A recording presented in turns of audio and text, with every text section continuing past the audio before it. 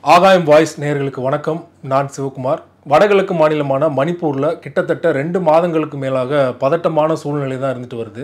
மிகப்பெரிய அளவில் வன்முறையும் வெடித்திருக்குது. கிட்டத்தட்ட இரநூத்தி இருபதுக்கும் மேற்பட்டோர் வந்து அந்த இதில் கொல்லப்பட்டிருக்காங்க. எதிர்க்கட்சிகள்லாம் தொடர்ச்சியாக என்ன குற்றச்சாட்டு வைக்கிறாங்கன்னா அந்த மாநிலத்தை பாஜக தான் ஆள்றாங்க. அந்த மாநில முதலமைச்சர் ஏன் ஆரம்பத்திலேயே இந்த விஷயத்தை வந்து கட்டுக்குள்ளே கொண்டு வரல? அது மட்டும் இல்லாமல் இந்த வன்முறைக்கே வந்து பின்னணியில் பிஜேபி தான் இருக்குது அப்படிங்கிற ஒரு குற்றச்சாட்டு இருக்குது. பிரதமர் மோடி அவர்கள் வெளிநாடு சுற்றுப்பயணம் போகிறாரு கர்நாடகாவில் எலெக்ஷனுக்காக கேம்பெயின் போகிறாரு ஏன் வந்து மணிப்பூருக்கு போக மாட்டாரு அப்படிங்கிற ஒரு கேள்வியும் தொடர்ச்சியாக எழுப்பப்பட்டு வருது. இந்த சூழலில் நேற்று இரவு வந்து ஒரு வீடியோ வெளியானது. அந்த வீடியோ வந்து பார்க்குறவங்களே பதப்பதைக்க வைக்கிற மாதிரி இருந்தது. அந்த வீடியோவில் ஒரு கும்பலுக்கிடையே மாட்டிக்கிட்ட ரெண்டு பெண்கள் வந்து நிர்வாணப்படுத்தப்பட்டு கூட்டு பாலியல் வன்முறைக்கு ஆளாக்கப்படுறாங்க. இந்த சம்பவம் நடந்தது பார்த்தீங்கன்னா மே நான்காம் தேதி நடந்திருக்குது. கிட்டத்தட்ட ரெண்டு மாதம் ஆகியும் ஏன் இன்னும் நடவடிக்கை எடுக்கல? ஏன்னா அப்போதே வந்து எஃப்ஐஆர் போடப்பட்டிருக்குது. இது தொடர்பாக அந்த மாநில முதலமைச்சர் பைரன் சிங் வந்து இன்னைக்கு தான் வந்து ஒரு அறிக்கை வெளியிட்டிருக்காரு. அந்த அறிக்கையில் அவர் என்ன சொல்கிறாருன்னா கண்டிப்பாக வந்து குற்றவாளிகள் நாங்கள் தப்பிக்க விட மாட்டோம்னு சொல்கிறாரு ஒரு சிஎம்மா இருக்கிறவருக்கே ரெண்டு மாதத்துக்கு முன்னாடி நடந்த இந்த சம்பவம் தெரியாதா? அப்படிங்கிற ஒரு கேள்வி எல்லோருக்குமே எழும். இந்த சம்பவம் தொடர்பாக கிட்டத்தட்ட ரெண்டு மாதங்களுக்கு அப்புறமா பிரதமர் மோடி அவர்கள் மௌனத்தை கலைச்சிருக்காரு. அவர் என்ன சொல்லியிருக்காருன்னா நூற்றி நாற்பது கோடி மக்களையும் அவமானப்படுத்துகிற சம்பவம் இது. இந்தியாவின் மகளுக்கு நடைபெற்ற இந்த சம்பவத்தை என்னால் ஏற்றுக்கொள்ள முடியாது. குற்றவாளிகள் யாரா இருந்தாலும் தப்பிக்க முடியாது அப்படின்னு சொல்லியிருக்காரு. மணிப்பூர்ல தற்போது என்ன நடக்குது? அந்த வீடியோ சம்பவத்தன்று என்ன நடந்தது அப்படிங்கிறத நம்ம இந்த வீடியோவில் விரிவாக பார்க்கலாம். அதற்கு முன்னாடி ஆகாயம் வாய்ஸ் சேனலை வந்து சப்ஸ்கிரைப் பண்ணாதவங்க கண்டிப்பாக சப்ஸ்கிரைப் பண்ணுங்க.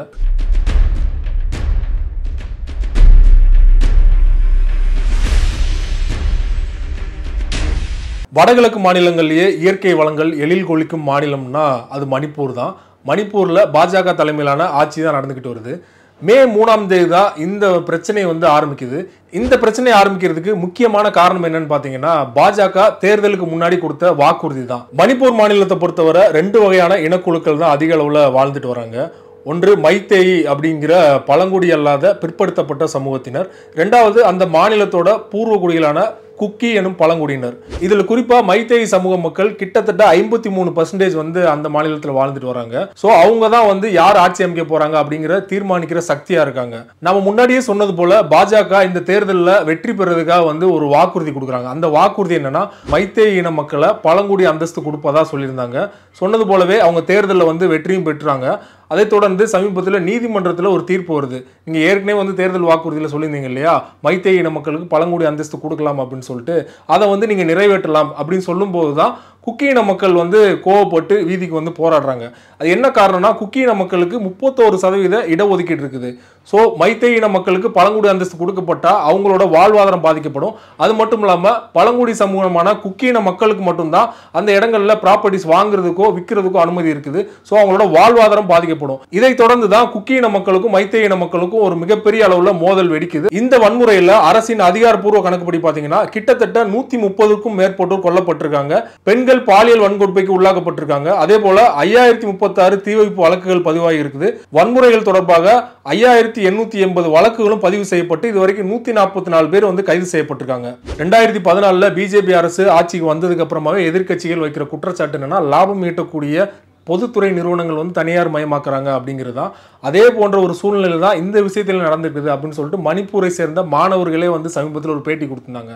அந்த மாணவர்கள் என்ன சொல்லியிருந்தாங்கன்னா மணிப்பூரில் இருக்கிற இயற்கை வளங்களை சுரண்டி அதை கார்ப்பரேட்டுக்கு பங்கு போட்டு கொடுக்கறது தான் இந்த பிரச்சனையோட ஆரம்ப புள்ளி அப்படின்னு சொல்றாங்க. அது மட்டும் இல்லாமல் நேற்று வெளியான வீடியோ பற்றி நம்ம முன்னாடி பேசணும் இல்லையா? அந்த வீடியோ தொடர்பான எஃப்ஐஆர் காப்பியும் வெளியே இருக்கு. அந்த எஃப்ஐஆர் காப்பியில் என்ன சொல்லப்பட்டிருக்குன்னா மே மூணாம் தேதி இந்த பிரச்சனை ஆரம்பிக்குது. மே நான்காம் தேதி பழங்குடியின மக்கள் அதிகமாக இருக்கிற ஒரு கிராமத்துக்குள்ள மைத்தேய் சமூகத்தை சேர்ந்த ஐநூறுக்கும் மேற்பட்ட கும்பல் வந்து நுழையிறாங்க. அங்க இருக்கிற மக்களை அடித்து துன்புறுத்தி அங்கிருந்து விரட்டுறாங்க. அவங்களோட உடைமைகளை சூறையாடுறாங்க. இதுல இருந்து தப்பிக்கிறதுக்காக அங்க இருக்கிற பெண்கள் கிராமத்தினர் வந்து காட்டுக்குள்ள போறாங்க. அதை தொடர்ந்து தான் அங்க காவல்துறையினர் வராங்க. காவல்துறையினர் வந்ததுக்கு அப்புறமா அங்க இருக்கிற மக்களை காப்பாற்றி அவங்க வேற இடத்துக்கு கூட்டு போகும்போது தான் அந்த கும்பல் காவல்துறை கண் முன்னாடியே அந்த ரெண்டு பெண்களை வந்து நிர்வாணப்படுத்தி கூட்டு பாலியலுக்கு உள்ளாக்கியிருக்காங்க. ஸோ இந்த சம்பவம் வந்து காவல்துறைக்கு முன்னாடி தான் நடந்திருக்கு. அது மட்டும் இல்லாமல் எஃப்ஐஆர் படிக்கும்போது இன்னொரு விஷயம் தெளிவாக தெரியுது.